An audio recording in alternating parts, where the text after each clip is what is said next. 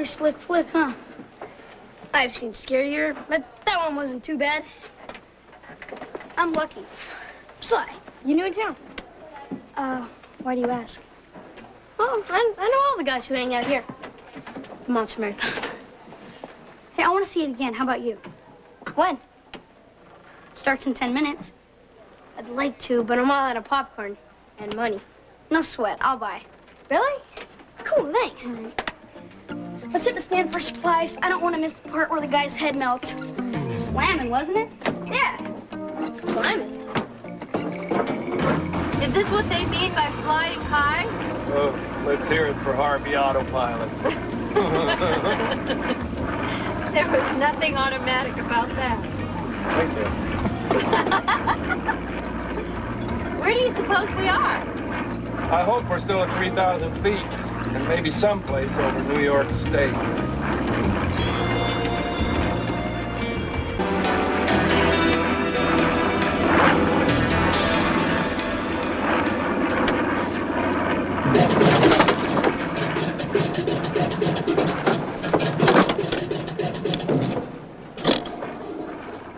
I don't like that sound.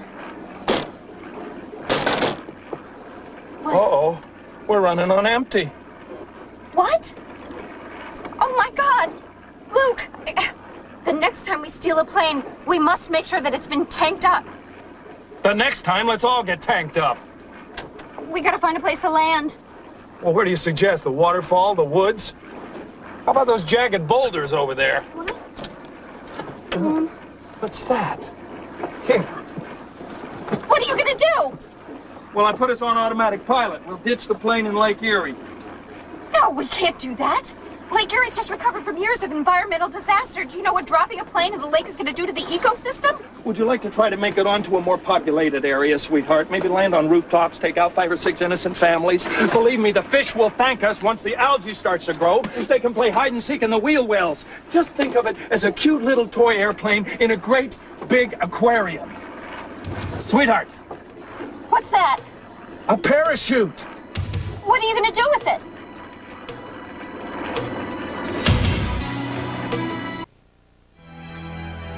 Wow, that was really cool seeing it again. Yeah, I saw some stuff I didn't even notice the first time. Yeah, you want to finish my popcorn? Sure. I know this great place down by the wharf. We could go there and play video games. That sounds cool. But there's a lot of neat places around here. Just gotta know where to look. But there's a lot of places you could hide, and adults wouldn't even think of looking there. Why? Are, are you hiding from somebody? No, I was just wondering. I know a great place. Really? Come on.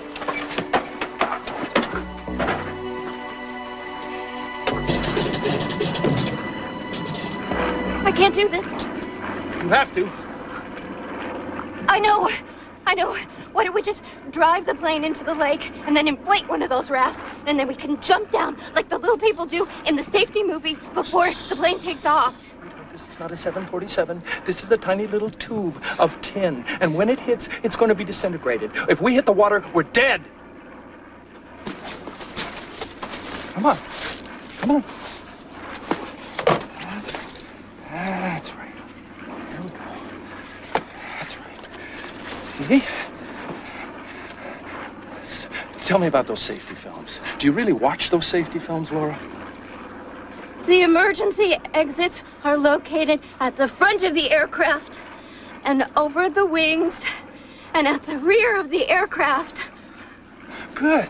Well, our emergency exit is right here, and we're going to have to use it soon because we're losing altitude, sweetheart. My ears are blocking up. Oh, oh, Luke, I, I, I never did this before. Well, think how uh, easy it'll be next time, huh? What?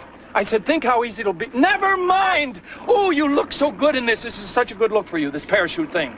I think I should have practiced this first. No, later. Later, Ah! later, later. Okay? Ready? Ready? I can't do it. You go, and, and I'll watch. I'll be fine. No, no, no. You just close your eyes and count to ten, and you'll be fine. I can't. You have to! No, I won't jump! Help!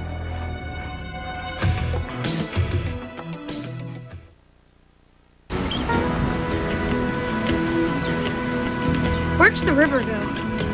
Downstate a little, then to the ocean. There are rapids and cataracts and a lot of waterfalls. Some pretty big.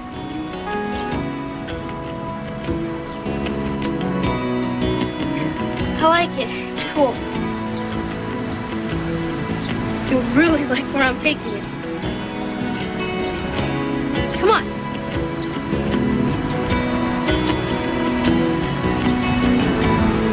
Oh, wow. There's the entrance. How do we get down there? Crawl into here. There's a place on the other side of the water spout where you slide down. Oh, this is even better than my dad said.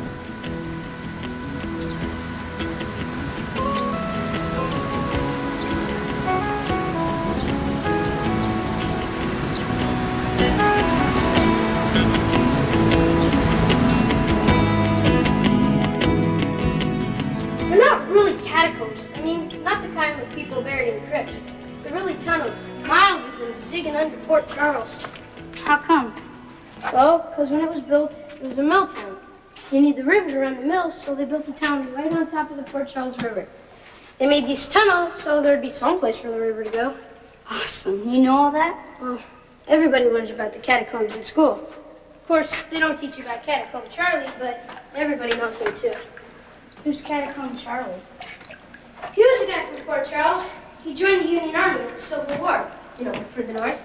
Except he had this brother who was fighting for the South, a rebel. Uh-huh. One time his general ordered him into battle, except he'd be fighting against his own brother. So Charlie said, I'd rather cut off my own hand than raise it against my brother. The general got so mad, he took his sword and whack. Just took Charlie's hand right off. Gross. What happened to him? He deserted. He hid in the catacombs because he knew they'd be looking for him. That's where he bled to death. Right down here. His ghost has been wandering around here ever since. No way. It's true. My friend Justin has this cousin who knows this guy who saw him. He actually saw Charlie's ghost. How did he know who it was? Well, because he didn't have a hand. he Just waving his arm around with no hand to the end. Said he is so ticked off about what happened to him, take down anybody he finds wandering around down here. You don't believe all that stuff, do you? Oh, no, of course not. It's just a, a story.